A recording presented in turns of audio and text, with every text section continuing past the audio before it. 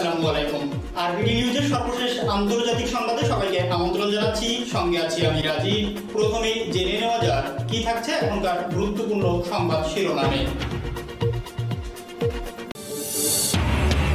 রাজতন্ত্র বিরোধী সেই কিশোরের মৃত্যুদণ্ড কার্যকর করল সৌদি আরব। সমুদ্রে আরও আধিপত্য বিস্তারের প্রচেষ্টা চীনের। প্রচণ্ড লড়াই তালেবানের কাছ থেকে দুটি এলাকার দখল নিল আফগান বাহিনী। মিয়ানমারকে সামরিক প্রযুক্তি দিচ্ছে ভারত। পাকিস্তানে গান গেয়ে কুলফি বিক্রি করছেন ডোনাল্ড ট্রাম্প। ভুল করে প্রধানমন্ত্রীর চেয়ারে বসলেন বেনিয়ামিন নেতানিয়াহু। এবং সর্বশেষ থাকছে সৌদি ও আমেরিকার ড্রোন মহড়া। ভারতের প্রধানমন্ত্রী এবং বাংলাদেশের প্রধানমন্ত্রী উভয় উভয়কেই সেই দেশের পরীক্ষিত বন্ধু বলে দাবি করে। যেমন ভারত দাবি করে, বাংলাদেশ ভারতের পরীক্ষিত বন্ধু। তেমনি বাংলাদেশ সরকার অর্থাৎ মাননীয় প্রধানমন্ত্রী শেখ হাসিনা দাবি করেন ভারতও বাংলাদেশের পরীক্ষিত বন্ধু। কিন্তু তারপরেও ভারত বাংলাদেশকে উপেক্ষা করেই মিয়ানমারকেই সামরিক প্রযুক্তি দিয়ে সহায়তা করছে। তাহলে ভারত কীভাবে বাংলাদেশের পরীক্ষিত বন্ধু হলো সে বিষয়ে প্রশ্ন রইল আপনাদের কাছে। এ বিষয়ে আপনারা আপনাদের মূল্যবান মতামত প্রদান করবেন এবং অনুরোধ থাকবে গুরুত্বপূর্ণ এই ভিডিওটি না টেনে সম্পূর্ণ দেখার জন্য।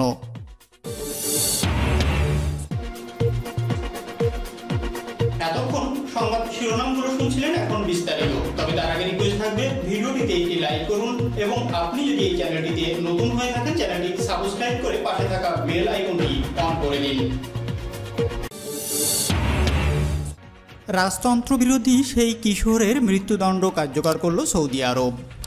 রাজতন্ত্র বিরোধী আন্দোলনের দায়ে সৌদি আরবের পূর্ব অঞ্চলীয় কাতিফ শহরে ছয় বছর আগে আটক এক কিশোরের মৃত্যুদণ্ড কার্যকর করেছে দেশটির সরকার। মুস্তফা বিন হাশেম বিন ইশা আল দারভিস নামের। ওই কিশোরের বিরুদ্ধে রাজতন্ত্র বিরোধী উস্কানি এবং শান্তিপূর্ণ বিক্ষোভে অংশ নেওয়ার অভিযোগ এনেছিল রিয়াদ। দুই হাজার পনেরো সালে কাতিফ শহর থেকে মুস্তফাকে আটক করা হয়। তখন তার বয়স ছিল সতেরো বছর। খবর গার্ডিয়ানের। বিভিন্ন আন্তর্জাতিক মানবাধিকার সংস্থা ওই কিশোরের মুক্তির দাবি করে আসছিল। মঙ্গলবার সৌদি আরবের স্বরাষ্ট্র মন্ত্রণালয় ওই কিশোরের মৃত্যুদণ্ড কার্যকর করার ব্যাপারে একটি বিবৃতি দিয়েছে।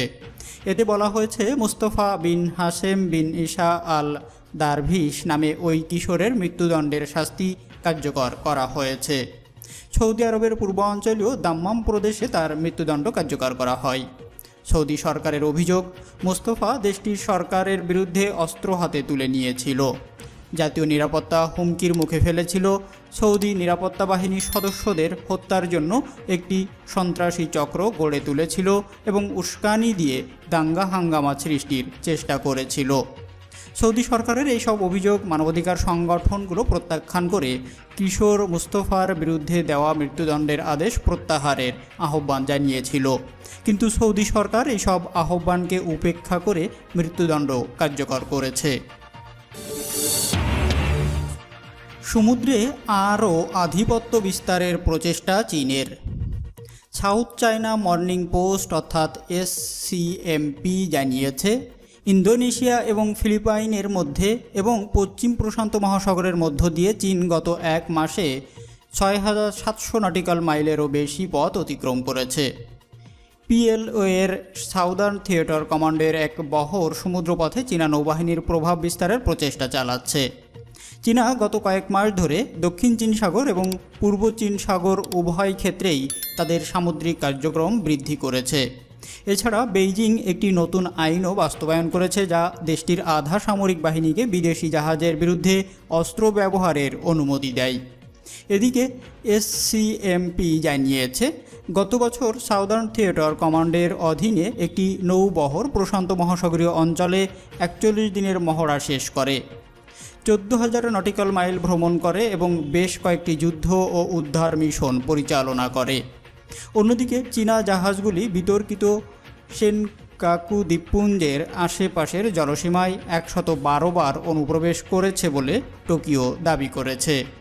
জাপান উপকূলরক্ষী বাহিনী জানিয়েছে, চীনা জাহাজগুলো পূর্ব চীন সাগরের দ্বীপগুলোর চারপাশে সংলগ্ন অঞ্চল দিয়ে টানা একশত বারোতম দিন যাত্রা করে। প্রচণ্ড লড়াই, তালেবানের কাছ থেকে দুটি এলাকার দখল নিল আফগান বাহিনী। আফগানিস্তানের উত্তর অঞ্চলীয় কন্দুজ প্রদেশের দুটি এলাকার নিয়ন্ত্রণ নিতে সক্ষম হয়েছে দেশটির সরকারি বাহিনী। তালেবান গোষ্ঠীর সঙ্গে কয়েকদিনের প্রচণ্ড লড়াইয়ের পর আফগান সেনারা খান আবাদ এবং চাহ আব এলাকার নিয়ন্ত্রণ নিতে সক্ষম হন। এর আগে তালেবান হামলা চালিয়ে এইসব এলাকা থেকে আফগান সরকারি সেনাদের বহিষ্কার করেছিল। কিন্তু কয়েকদিনের সংঘর্ষের পর আফগানিস্তানের এই দুটি এলাকা তাদের নিয়ন্ত্রণে আনতে সক্ষম হয়েছে। কন্দুজ প্রদেশের পুলিশ প্রধান ফরিদ মার্শাল বলেন, মুখোমুখি সংঘর্ষ ও বিমান হামলায় পঞ্চাশ জনেরও বেশি তালেবান গেরিলা নিহত হয়েছে। এর মধ্যে বেশ কয়েকজন তালেবান কমান্ডার রয়েছে বলে তিনি উল্লেখ করেন। পুলিশের এই কর্মকর্তা জানান, তালেবানের সংঘর্ষে গত চব্বিশ ঘন্টায় অন্তত চল্লিশ জন আফগান নিরাপত্তা বাহিনীর সদস্য নিহত হয়েছে। এদিকে হাতছাড়া হওয়া এলাকা দুটি পুনরুদ্ধারের জন্য তালেবান হামলা জোরদার করেছে। এর প্রেক্ষাপটে আফগান সামরিক বাহিনী অন্য দুটি এলাকা থেকে তাদের সদস্য প্রত্যাহার করে নিয়েছে। আফগানিস্তানের তোলো নিউজ জানিয়েছে, গত দুই মাসে তালেবানের কাছে আফগানিস্তানের অন্তত তিরিশটি গুরুত্বপূর্ণ এলাকার পতন হয়েছে। এই সম্পর্কে আফগানিস্তানের প্রভাবশালী সংসদ সদস্য সাদিক কাদেরই বলেছেন কোনো কোনো এলাকা একদম প্রতিরোধ ছাড়াই তালেবানের কাছে ছেড়ে দেওয়া হয়। আফগানিস্তানের এইসব অস্ত্র ও সামরিক সরঞ্জাম তালেবান ব্যবহার করছে। কেন বিনা লড়াইয়ে হঠাৎ করে এই সমস্ত এলাকা তালেবানের কাছে ছেড়ে দেওয়া হলো, তা অবশ্যই খতিয়ে দেখতে হবে। মিয়ানমারকে সামরিক প্রযুক্তি দিচ্ছে ভারত। নয়াদিল্লির একটি অস্ত্র নির্মাতা প্রতিষ্ঠান মিয়ানমার জান্তা সরকারকে অন্তত সাতটি সামরিক প্রযুক্তির চালান সরবরাহ করেছে। ভারতীয় এই কোম্পানিটির মালিকানা রাষ্ট্রীয়। বিক্রি করা সামরিক সরঞ্জামের মধ্যে রয়েছে উপকূলে নজরদারি চালানোর প্রযুক্তি। মিয়ানমারের একটি অ্যাক্টিভিস্ট গোষ্ঠী জাস্টিস ফর মিয়ানমার অর্থাৎ জেএফএম এক প্রতিবেদনে তথ্যটি তুলে ধরেছে। জেএফএম কর্তৃক মঙ্গলবার অর্থাৎ পনেরোই জুন প্রকাশিত প্রতিবেদনে দাবি করা হয়, ভারত ইলেকট্রনিক্স লিমিটেড অর্থাৎ বিইএল মিয়ানমার জান্তার কাছে রাডার সরঞ্জাম ও যোগাযোগের যন্ত্রপাতি বিক্রি করছে। যে জান্তা সরকারের হাতে এক ফেব্রুয়ারি অভ্যুত্থানের পর দেশটির আট শতাধিক নাগরিক নিহত হয়েছে। যে এফ এম এর মুখপাত্র ইয়াদানান মাউ এক বিবৃতিতে বলেছেন, মিয়ানমারের বিইএল এর বাণিজ্যের মাধ্যমে জান্তার বৈধতা দিচ্ছে ভারত সরকার। মিয়ানমারের জনগণের বিরুদ্ধে যা ব্যবহার করে ত্রাসের রাজত্ব কায়েম করছে সেনাবাহিনী। প্রতিবেদন অনুসারে ভারতের বিক্রি করা সরঞ্জামগুলোর মধ্যে আছে electro optic systems radar video ইলেক extractor receiver DHF communication systems graphics processor work station hardware, server storage ও ব্যাটারি। সাতাশ ফেব্রুয়ারি থেকে উনত্রিশে মার্চের মধ্যে জয়পুর ও ব্যাঙ্গালুর থেকে এইসব সরঞ্জাম মিয়ানমারে পাঠানো হয়। ভারতীয় কোম্পানিটির সঙ্গে ইসরায়েল, ইতালি, সুইডেন, ডেনমার্ক ও ফ্রান্স ডাচ কোম্পানির বাণিজ্য রয়েছে। পাকিস্তানে গান গেয়ে কুলফি বিক্রি করেছেন ডোনাল্ড ট্রাম্প। এমন ভিডিও প্রকাশ্যে এসেছে যা দেখে হার্ট ফেলার অবস্থা। পাকিস্তান শহরে কুলফি বিক্রি করছেন সাবেক মার্কিন প্রেসিডেন্ট ডোনাল্ড ট্রাম্প। ভিডিও দেখে থমকে যাওয়ার মতোই অবস্থা। সাবেক মার্কিন রাষ্ট্রপতির মতোই একজনকে দেখা গেল গান গেয়ে গেয়ে কুলফি বিক্রি করতে। ইংরেজিতে যাকে বলে ড্রপেল গ্যাঞ্জার। সোশ্যাল মিডিয়ায় ঝড় তুলে দেওয়া ওই ভিডিওতে দেখা গেছে যে বিলিয়নিয়ার ওই রাজনীতিবিদের সাথে কুলফি বিক্রেতার হুবহু মিল। এমন আকর্ষণীয় সাদৃশ্য সচরাচর দেখা যায় না। ভাইরাল হওয়া ভিডিওতে দেখা গেছে, কুর্তা, পায়জামা পরা মধ্যবয়সী ব্যক্তি অর্থাৎ গায়ের রং দেখে বোঝা যাচ্ছে হয়তো শ্বেত রোগে ভুগছেন, মাথায় সোনালি রঙ্গা চুল, ট্রাম্পের মতোই শারীরিক গড়ন, গান গেয়ে গেয়ে কুলফি বিক্রি করে চলেছেন। সোশ্যাল মিডিয়ায় পাকিস্তানের গায়ক ও গীতিকার শেহজাদ এই ভিডিও শেয়ার করতে এই মুহূর্তেই ভাইরাল হয়ে যায় ভিডিওটি। ভুল করে প্রধানমন্ত্রীর চেয়ারে বসলেন বেনিয়ামিন নেতানিয়াহু। দীর্ঘ বারো বছরের অভ্যাসের বসে প্রধানমন্ত্রীর চেয়ারেই বসে পড়লেন সদ্য ক্ষমতা হারানো ইসরায়েল বিরোধী দলীয় নেতা বেনিয়ামিন নেতানিয়াহু। তবে সঙ্গে সঙ্গে তাকে ব্যাপারটা খেয়াল করিয়ে দেওয়া হয় এবং আসন ত্যাগ করে তার জন্য নির্দিষ্ট আসনে বসতে বলা হয়। পরে তিনি আসনটি ত্যাগ করে নিজ নির্ধারিত আসনে বসেন, খবর বিবিসির। খবরে বলা হয়, নির্বাচনে হেরে বারো বছরের প্রধানমন্ত্রীত্বের পদ থেকে সরতে হয়েছে নেতানিয়াহুকে। কিন্তু সোমবার পার্লামেন্টে গিয়ে তিনি হয়তো এক যুগের অভ্যাস ভুলতে পারেননি। তাই আনমনেই হয়তো প্রধানমন্ত্রীর চেয়ারে গিয়ে বসে পড়েন। তবে সঙ্গে সঙ্গে তাকে ব্যাপারটা খেয়াল করিয়ে দেওয়া হয় এবং আসন ত্যাগ করার জন্য অনুরোধ করা হলে তিনি তার জন্য নির্দিষ্ট আসনে গিয়ে বসেন। উল্লেখ্য, নির্বাচনে জিতে রবিবার প্রধানমন্ত্রী হিসাবে শপথ নিয়েছেন দক্ষিণপন্থী ইহুদি নেতা ঊনপঞ্চাশ বছরের নাপ্তালি বেনত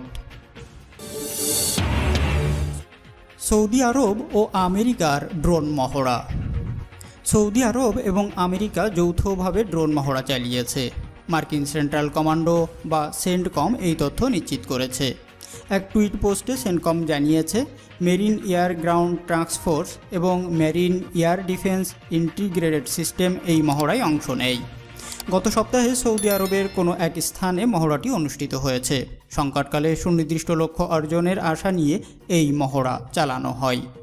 ইরাকে মোতায়েন মার্কিন বাহিনীর বিরুদ্ধে ছোট ড্রোনের ব্যবহার নিয়ে সেন্টকমের প্রধান জেনারেল কেনেত ম্যাকানজি উদ্বেগ প্রকাশ করার কয়েকদিনের মধ্যে মার্কিন সেনারা সৌদি আরবে ড্রোন মহড়া চালালো। জেনারেল ম্যাকেনজি বলেছিলেন, সন্ত্রাসবাদ বিরোধী প্রতিরোধ আন্দোলনগুলোর কাছ থেকে চাপ সৃষ্টি হতে দেখছে আমেরিকা। এইসব সংগঠন আমাদেরকে ইরাক থেকে বের করে দিতে চায় এবং সর্বশেষ তারা এই লক্ষ্য অর্জনে ছোট ছোট ড্রোন ব্যবহার করছে। এর কিছু খুবই ছোট, কিছু একটু সামান্য বড়, তবে সবগুলোই প্রাণঘাতী। এতক্ষণ সঙ্গে থাকার জন্য ধন্যবাদ। দেখা হচ্ছে পরবর্তী ভিডিওতে।